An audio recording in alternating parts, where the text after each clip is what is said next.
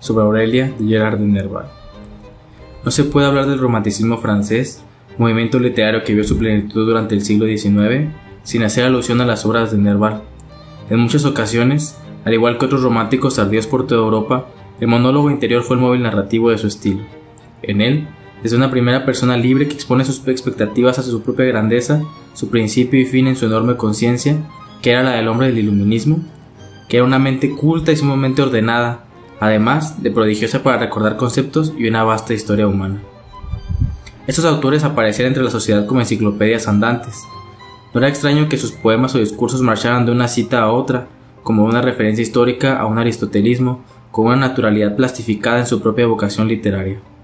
Bajo este influjo se describen hechos o se reflexiona sobre ellos, mientras se dejan entrever las acepciones del propio poeta sobre el mundo, oscilando entre las divagaciones metafísicas, que muestran una erudición envidiable, hasta el hartazgo de la gente que los rodea, como las imposiciones sociales de su época o la transformación de los valores de la nueva burguesía.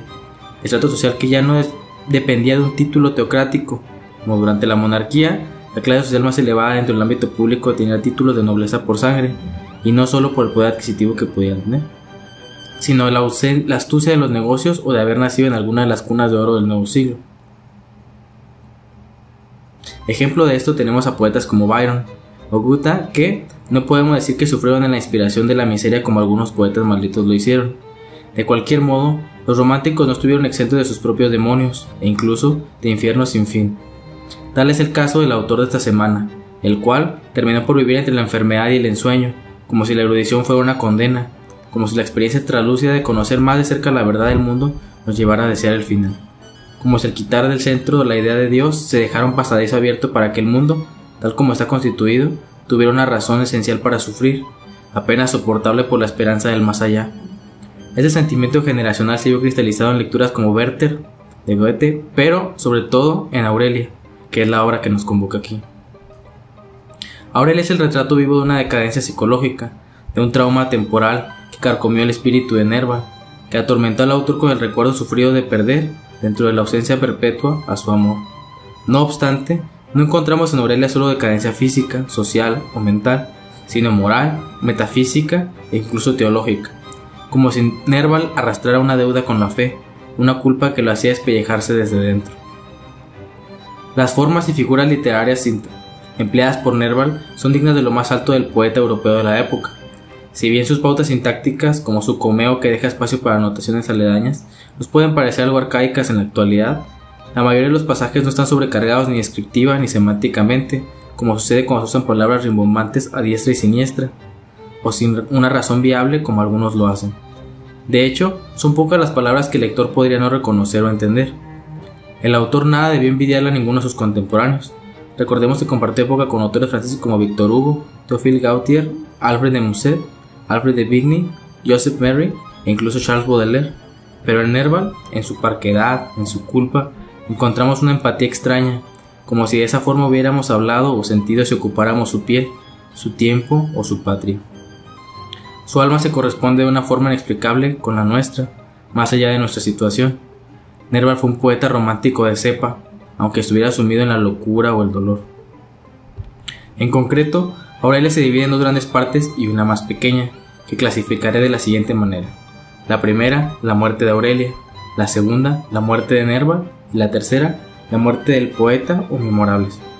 ¿Y qué muere cuando muere un poeta? Mueren los sueños, es verdad, una parte de los sueños del mundo, pero, a su vez, Nerval se diferencia de otros porque muere en un sueño, sobre algunos pasajes, Nerval tiene la habilidad de, por medio de un signo que se remite a su amor moribundo, su desgracia ante la finitud o la imposibilidad de aceptar la muerte de su amada, evoca sus sentidos, describe lo que ve para dejarnos la impresión de sufrimiento que sería pasar por esas calles parisinas, estar inmerso en su cabeza que poco a poco se pierde fuera de sí, de su control, mientras su espíritu se desbarata. A veces, la muerte de un signo se vuelve la justificación para augurar su propio destino, Mientras veía lo cercana que se volvió la muerte para él, nuestro autor se iba haciendo la idea de abrazarla pronto. En la primera parte, la muerte de Aurelia, comienza con las siguientes palabras. El sueño es una segunda vida. Para Nerval, el sueño fue también su primera parte y su primera muerte, su imaginación, el medio por el que pudo desearla, darle vida, donde pudo recrear su infierno tan particular tan lleno de intimidad. No se detiene en estos pasajes, continúa diciéndonos, con la lengua avergonzada, casi escaldada, que no sabe diferenciar ya su yo, sino que se desvanece, donde la voluntad o el deseo son lo mismo. En ese estado comienza a divagar entre los recuerdos de Aurelia, reminiscencias inocentes al pasado. Mientras cita a Swedenborg, a Puleyo o a Dante, nos da algunas impresiones de la importancia que tiene la imaginación para él, como en el siguiente párrafo. A veces creía que mi fuerza y mi actividad estaban dobladas, me parecía saberlo todo, comprenderlo todo, la imaginación me traía delicias infinitas. Al recobrar lo que los hombres llaman la razón, ¿tendré que lamentar haberlas perdido? Después de esto, Nerval trata de justificar sus heridas en Aurelia, ocultarnos su dolor dentro de su pecho muerto. Además, admite su frivolidad. En su vestimenta, en su comportamiento, están los restos de la estructura que lo conformó, que lo volvió lo que era. Se da cuenta de que, en el vasto teatro de las apariencias de su época, en todo el ornamento de costumbres sociales que, al cerrar la puerta, no eran tan importantes, parecían deslindarlos del bien o del mal. Lo romántico, de esa misma forma, también fue una fantasía. Nerval describe la locura que significaba traer los aspectos más platónicos de las desventuras amorosas al plano terrenal, confundiendo la enervante realidad que nos golpea fuerte con una novela sobre observar a nuestro amor encarnado desde lejos, muriendo cada instante que no, por no podernos recostar sobre él. El romanticismo como movimiento literario, desde la visión de la historia de la literatura, no debe confundirse con lo romántico. Lo romántico está, dentro de una historia, apegado a las situaciones que nos muestra, su fondo. Habla de ciertos comportamientos o rituales que son realizados para ganar el cariño de una persona. Este tema es universal y está sujeto a muchas condiciones contextuales, tanto sociales como políticas o filosóficas, mientras que el romanticismo es el acabado de las formas literarias, retóricas o aspectos de la poética que influenciaban a gran parte de los escritores de una generación específica, situada en ciertos lugares dentro de un periodo de tiempo. Esto va más en consonancia con la forma. Si bien es cierto que muchos escritores de romanticismo abordaban temáticas románticas, no siempre sucedía esto, o al menos no era requisito para formar parte del movimiento literario llamado romanticismo. Después de esta aclaración, continuemos. El autor nos va mostrando a Aurelia por medio de las situaciones, los lugares, las conversaciones o percepciones que iba teniendo el uno del otro. Va avanzando su imagen junto a la ciudad, por tanto, el sueño, como él lo llama, comenzó a desbordarse en él. Fragmentos como el siguiente, el destino del alma liberada parecía revelarse a mí como para hacerme lamentar haber querido volver a dar pie con todas las fuerzas de mi espíritu en la tierra que iba a abandonar. Inmensos círculos se dibujaban en el infinito, como los orbes que forma el agua turbada por la caída de un cuerpo. Cada región, poblada de figuras radiantes, se coloreaba, se movía y se fundía alternativamente, y una divinidad, siempre la misma, rechazaba sonriendo las máscaras furtivas de sus diversas encarnaciones y se refugiaba por fin, inacibles, en los místicos esplendores del cielo de Asia. Dentro de las densas metáforas, producto de su ensimismamiento, también brota mucha claridad. En ocasiones se mostraba condescendiente consigo mismo, otras se culpaba. Estaba inconforme con su existencia, con su relación con el mundo y con esa tierra que pronto iba a abandonar. Otra cuestión interesante es que algunos pasajes podían notarse cierta tendencia al idealismo filosófico, sistema que, además, era propio de la época en la que vivió, pero reimaginado o interpretado de sus percepciones estéticas, con un lenguaje mucho más poético. La única diferencia para mí entre la vigilia y el sueño era que, en la primera, todo se transfiguraba a mis ojos, cada persona que se me acercaba parecía cambiada, los objetos materiales tenían como una penumbra que modificaba su forma, y los fuegos de la luz combinaciones de colores se descomponían de manera que me mantenían en una serie constante de impresiones que se ligaban entre sí y cuya probabilidad era continuada por el sueño, más desligado de los elementos exteriores. Si damos una lectura detenida, cuando habla de los ojos como una metonimia, podríamos entenderlo como sentidos, mientras que los objetos materiales oscurecidos no estaban en sí, sino modificados en su forma dentro de la mente, o los fuegos de luz como el canal por el cual los sentidos pueden percibir los objetos no estaban en forma pura en tanto objeto, sino que solo los conoce por una serie constante de impresiones que se ligaban entre sí, dentro de su mente, como las categorías kantianas. El fenómeno kantiano se nos muestra casi de manera evidente. La última gran reflexión filosófica que hace Nerval en esta parte es la siguiente. La nada, dijo, no existe en el sentido en que suele entenderse, pero la tierra misma es un cuerpo material cuya alma es la suma de los espíritus la materia es tan imperecedera como el espíritu, pero puede modificarse según el bien y según el mal. Nuestro pasado y nuestro porvenir son solidarios, vivimos en nuestra raza y nuestra raza vive en nosotros. En este párrafo creo que es válido encontrar algo de Hegel escondido en sus reflexiones. Siendo honesto, desconozco si Nerva leyó directamente a sus autores, pero no sería descabellado que conociera sus ideas, al menos solo de oídas o por conversaciones con amigos o intelectuales que divulgaran sus ideas en Francia. Al final de este capítulo, entre sus ideas y su tristeza, nos dice brutalmente que Aurelia ha muerto. Hay en todo un hombre un espectador y un actor, el que habla y el que responde. Para este punto, Nerval estaba disociado. La segunda parte, la muerte de Nerval, comienza con la aceptación de la muerte de Aurelia, desde una severa analogía con lo inevitable de su propia muerte. Eurídice, Eurídice, por segunda vez perdida, todo ha terminado, todo ha pasado. Soy yo ahora quien debe morir, y morir sin esperanza. ¿Qué es pues la muerte? Si fuese la nada, Dios lo quiera, pero Dios mismo no puede hacer que la muerte sea la nada. Lo que sigue atina al análisis inicial, donde el iluminismo humanista, que tenía fe en la ciencia, en la idea del hombre como fundamento central de la realidad, que forma convenciones en consenso con otros, que decide y tiene libertad de existir como le sea conveniente, contrapuesto con la humildad de la ontología cristiana, la visión servil del hombre a Dios, a los valores preestablecidos por ese orden hegemónico. Se enfrentan dentro del alma de Nerval, diciendo, el árbol de la ciencia no es el árbol de la vida, citando a Byron. Este pasaje nos lo muestra. Espero algo mejor que la bondad de Dios. Tal vez estamos tocando la época predicha en que la ciencia, habiendo cumplido su círculo entero de síntesis y de análisis, de creencia y de negación, podrá depurarse a sí misma y hacer brotar del desorden y de las ruinas de la ciudad maravillosa del porvenir. No hay que tener en tampoco la razón humana como para creer que sale ganando algo al humillarse entera, pues sería acusar a su celeste origen. Dios apreciará la pureza de las intenciones sin duda, y qué padre se complacería en ver a su hijo abdicar ante él todo su orgullo. El apóstol que quería tocar para creer no fue maldecido. ¿Qué acabo de escribir? Son blasfemias. La humildad cristiana no puede hablar así. Semejantes pensamientos están lejos de enternecer al alma. Llevan sobre la frente los relámpagos del orgullo de la corona de Satán, un pacto con Dios mismo, o ciencia, o vanidad.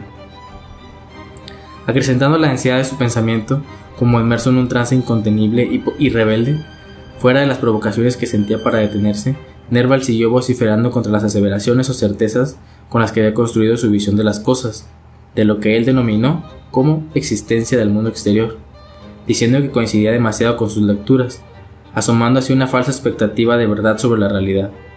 No obstante, me decía, es seguro que estas ciencias estén mezcladas de errores humanos. Nerval no sabía a creer o a quién seguir. Estaba parado sobre una tabla endeble que se tambaleaba, donde se apostaba todo el piso de su mundo. La resistencia existencial a este desgaste, aunaba la muerte de su objeto de deseo, fue el hecho que fulminó su cordura. Mientras caminaba, desposeído por las calles de París, vuelto un pobre espectro para sus amigos, allegados y para todos los que algún día lo conocieron, buscó consuelo en la fe, fisgoneando en las veredas por un padre para confesarse, arrepintiéndose luego de querer hacerlo. Había fracasado en ese asunto de estar en el mundo de la vigilia. Al final del día, terminó exhausto en su cama para entregarse por completo a sus sueños, que son ahora lo más cercano que estará de Aurelia. La última reflexión que me parece importante en este segmento es la siguiente. Así es como creía percibir las relaciones del mundo real con el mundo de los espíritus. La tierra, sus habitantes y su historia eran el teatro donde venían a cumplirse las acciones físicas que preparaban la existencia y la situación de los seres inmortales ligados a su destino.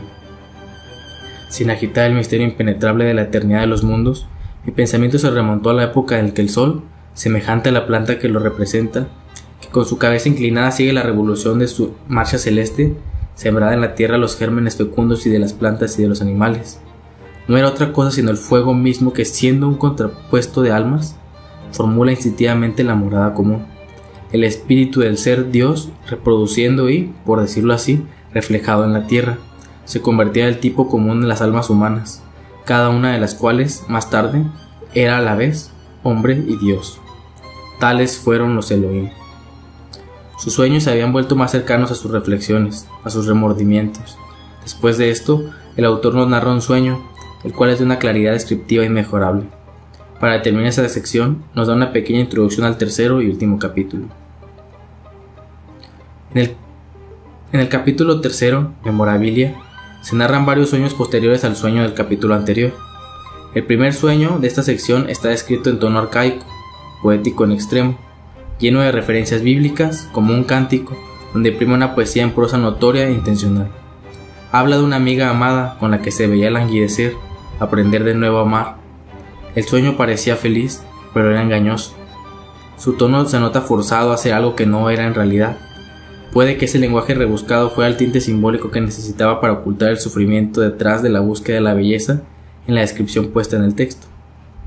En el segundo sueño, la nieve se presenta al lector. Una niña es ahora el sujeto observado, mientras, menciona el autor, va hacia la casa de Pedro el Grande. Su perfil majestuoso tenía algo borbónico. Su cuello, de una blancura deslumbrante, salía a medias de una palatina de plumas de cisne.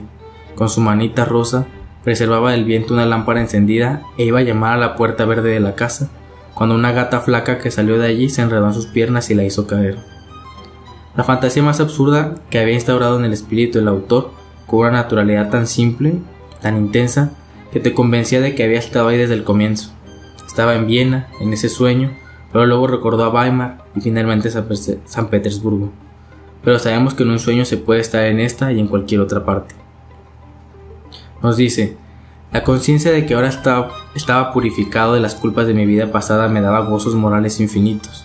La certidumbre de la inmortalidad, de la coexistencia de todas las personas que había amado, que me había llegado materialmente, por decirlo así, y bendecía al alma fraterna que, desde el seno de la desesperación, me había hecho volver a las vías luminosas de la religión. Después de esto, se encuentra consigo mismo, aceptándose como un muchacho que había dejado el mundo exterior, que se había sumido de lleno en el mundo de los sueños. Se llamó hermano, aunque intenta decirnos que podría ser él o cualquiera. Eso es fácil descubrirlo. Este es el final del tercer capítulo y por ende de la obra. Tengo sed. Fui a traerle de beber. El vaso tocó sus labios sin que pudiese tragar. ¿Por qué? le dije. ¿No quieres comer y beber como los otros? Es que estoy muerto, dijo. He sido enterrado en tal cementerio, en tal lugar. ¿Y ahora? ¿Dónde crees estar? En el purgatorio. Cumplo mi expiación. Tales son las ideas estrafalarias que dan las enfermedades de esta clase. Reconocí en mí mismo que no había estado lejos de tan extraña persuasión. Los cuidados que habría recibido me habían devuelto ya el afecto de mi familia y de mis amigos, y podía juzgar más sanamente el mundo de las ilusiones donde había vivido algún tiempo. Sin embargo, me siento feliz de las convicciones que he adquirido, y comparto esta serie de pruebas que he atravesado con lo que, para los antiguos, representaba la idea de un descenso a los infiernos. Incluso en su muerte, no pudo adjudicarse el derecho a ir al cielo o al infierno, sino que le bastó con la tibieza, con ir al purgatorio. El autor aún en la muerte, quedó aprisionado entre dos mundos. Gerard Nerval se quitó la vida en 1855, con las últimas páginas de esta obra en el bolsillo, cubierto de nieve, con un cinturón en el cuello y el sombrero puesto, abandonado por la vida en el callejón de Viellanta, su piel quedó endurecida y pálida. Había pasado por fuertes episodios de locura en el pasado, optando por la literatura como su último medio libre para expresar en lo que se había convertido. Sus amigos no aceptaban el hecho de que pudiera ser un suicidio. Lo fuera o no, el poeta estaba muerto. Aurelia se publicó de manera póstuma, considerada una obra fundadora del modernismo y su mejor novela.